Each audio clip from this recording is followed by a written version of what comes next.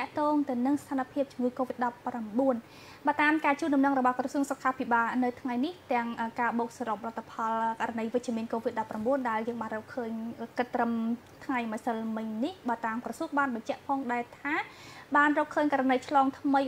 358ករណីបន្ថែមទៀតទន្ទឹមជាមួយគ្នាផងដែរក៏មានអ្នកជាសះស្បើយចំនួន348អ្នកផងដែរ តាមការប្រកាសរបស់ក្រសួងសុខាភិបាលនៅថ្ងៃទី14ខែឧសភាឆ្នាំ2021នេះក្រសួងបានរកឃើញករណី COVID-19 ថ្មីសរុបចំនួនចា358នាក់ដែលក្នុងនោះគឺសុទ្ធសឹងតែឆ្លងនៅក្នុងសហគមន៍ខណៈដែលនៅក្នុងនោះចាអធិស្ឋានគឺនៅក្នុងនោះ348នាក់គឺឆ្លងនៅក្នុងសហគមន៍ហើយចំនួន 3ចំនួន8នាក់ទៀតគឺសសឹងតែជាករណីនាំចូលបើតាមក្រសួងក៏បានបញ្ជាក់ផងដែរថាបូករួមទាំងករណីថ្មីដែលយើងបានរកឃើញនៅថ្ងៃនេះគឺ355ករណីបន្ថែមទៀតនាំឲ្យចំនួនឆ្លងសរុបនៃករណីជំងឺ Covid-19 គឺរកឃើញ21499នាក់ជាមួយគ្នានោះផងដែរក៏មានអ្នកស្លាប់ចំនួន5នាក់ដែលធ្វើឲ្យតួលេខនៃអ្នកស្លាប់ដោយសារតែ COVID-19 នៅកម្ពុជាបានកើនដល់រហូត147នាក់ ជាមួយគ្នានោះផងដែរបើតាមការប្រកាសរបស់ក្រសួងនៅថ្ងៃនេះក៏មានអ្នកជាសះស្បើយចំនួន348អ្នកផងដែរដូច្នេះចំនួនអ្នកដែលត្រូវបានព្យាបាលជាសះស្បើយពីជំងឺ Covid-19 គឺសរុបទាំងអស់គឺបានកើនដល់9867អ្នកចាអ្វីដែលជាការកត់សម្គាល់ទូរទស្សនិកជនក្រោយការប្រកាសរបស់ក្រសួងសុខាភិបាលនៅ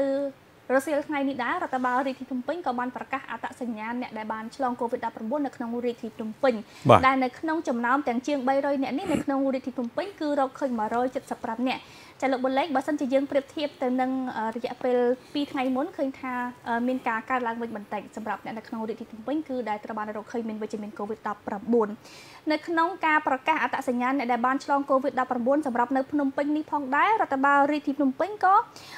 អំពាវនាវដល់ប្រជាពលរដ្ឋដែលធ្លាប់ប្រស័យតាក់ទងជាមួយនឹងអ្នកជំងឺ Covid-19 ទាំងអស់ត្រូវតែរាយការណ៍ទៅកាន់អាជ្ញាធរមូលដ្ឋាននិងរុះរាន់ទៅយកសំណាក់តាមដានពិនិត្យរោគមេរោគ Covid-19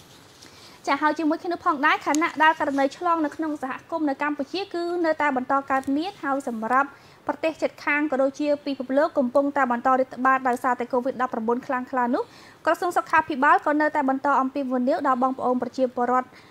ចាបន្តអនុវត្តអនាម័យហើយពាក់ម៉ាស់ជាប់ជានិច្ចនិងត្រូវឧស្សាហ៍លាងដៃនឹងសាប៊ូឬក៏អាល់កុលឬជែលហើយត្រូវរក្សាគម្លាតពីគ្នាហើយនឹងអ្វីដែលសំខាន់គឺមិនគួរចេញក្រៅផ្ទះប្រសិនបើគ្មានកិច្ចការចាំបាច់ សូមបញ្ជាក់ផងដែរថាគិតចាប់តាំងពីយើងបានរកឃើញជំងឺ Covid-19 នៅកម្ពុជាដំបូងចាប់តាំងពីខែ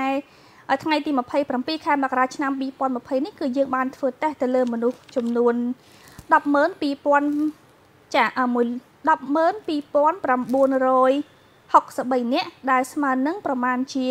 60000 1287នាក់ក្នុង1លាននាក់នៅក្នុងអនុផងដែរទូតទស្សនិកជនបើតាមមនុស្សគណៈកម្មការស្រាវជ្រាវជំងឺ Covid-19 ឃើញថាសម្រាប់អ្នកនៅក្នុងរាជធានីភ្នំពេញនៅពេលនេះ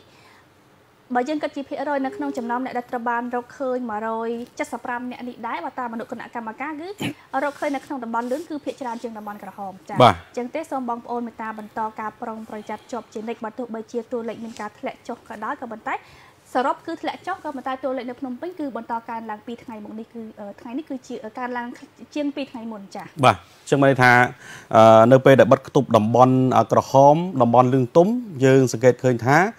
ជំងឺ Covid-19 ករណីវិជ្ជមាននេះមានការថយចុះច្រើនទៅកើនកើនតំបន់ដែលបើកទូលាយនោះគឺតំបន់លឿង